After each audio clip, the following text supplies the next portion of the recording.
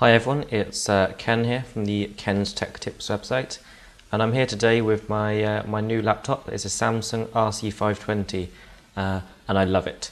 Um, so what I'm going to do is today is I'm going to take you through a very quick video tutorial.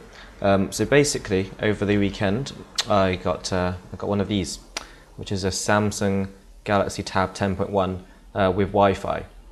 But the uh, problem that I'm having is I can't actually get Wi-Fi uh, where I am. Um, so what I've got is I've got a wired internet connection uh, which comes into my laptop. And uh, what I want to do is I want to use my lap my Samsung laptop uh, which runs Windows 7 so it's the latest version of Windows. I want to use this laptop to create a Wi-Fi hotspot um, so then I can access it uh, using my Samsung smart devices uh, such as a Samsung Galaxy S2 and like the uh, and also the Samsung Galaxy Tab 10.1 so what I'm going to do in this video is I'm going to take you through some of the programs that you can use to set up a Wi-Fi hotspot. So the best thing to do is first of all open up a web browser and then there are two applications that you can use. Um, so the first application is called Connectify um, and then the second one is called Virtual Router. Um, you can find both of these on Google. Um, I'll also post the URL in the comments of this YouTube video. So what these, what these applications do is they allow you to take a, um, a network connection that you have which goes into your, uh, into your laptop PC, uh, providing runs, runs Windows 7 of course, and then uh, you can use your laptop to actually create a Wi-Fi hotspot.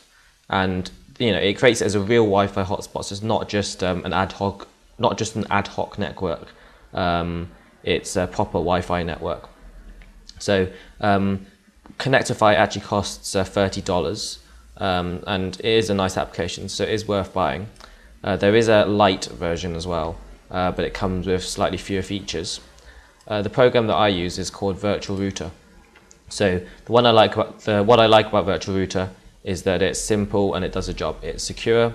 Um, the Wi-Fi connection uses WPA2, which is uh, the most secure wireless encryption technology which is currently there around there.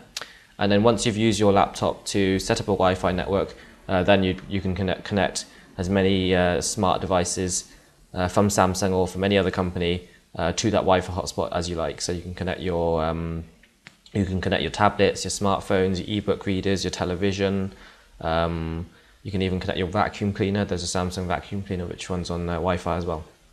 So what you need to do is click on download here on the right hand side. Okay, so I've just gone ahead and downloaded the Virtual Router Manager application. So I go into my start menu and I open up this window, so you see it here. See, it's actually a very simple application, there's not very much you need to do. Uh, you literally just need to type in a network name uh, for your new uh, Wi-Fi network. You type in the password, uh, and this is WPA2 encrypted, and then you say uh, which internet connection that you want to share. So uh, I'm just going to do this very simply, so I'm going to say Sam network name, I'm going to call it Samsung laptop you can call it anything, you can call it home network or a home hotspot or something like that. And then you just need to come up with a password for. So you need to make sure that this password is secret uh, because you don't want other people connecting to your network. So let's go for something like Samsung 123. Uh, and then uh, choose the connection I want to share. So I want to share the local area connection. So that's the Ethernet, that's the cable that's coming through the Ethernet port into this computer. And then uh, I just press start virtual router and then uh, once I do that, then I get a message here saying virtual router started. Um, so that should mean that I can now access it using uh, one of my Samsung smart devices. Uh, so what I'm going to do is uh, get my Galaxy Tab 10.1. So now if I, uh, there, there you go. I see at the top there's uh, this, this, this one called Samsung laptop and the, when I go to the Wi-Fi one. So click on Samsung laptop and then uh, just ask me for the password. So if I just type in a password which was Samsung one two three. Check that. Do you see that? That's the password that I chose earlier on the laptop. Press OK. Now it says it says connected and then I can simply open up a web browser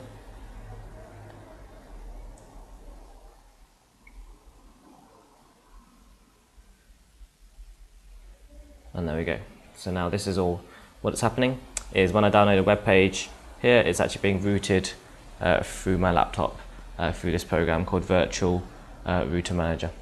Now you can see it's actually pretty fast because um, everything that you know, everything's downloading through the Ethernet connection, which is basically uh, wired through my computer.